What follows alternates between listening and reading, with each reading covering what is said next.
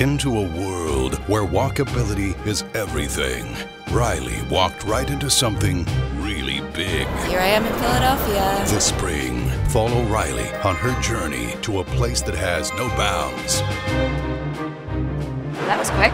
And though she didn't know it, the moment that would expand her horizons forever was right next door. Oh, it's right over there?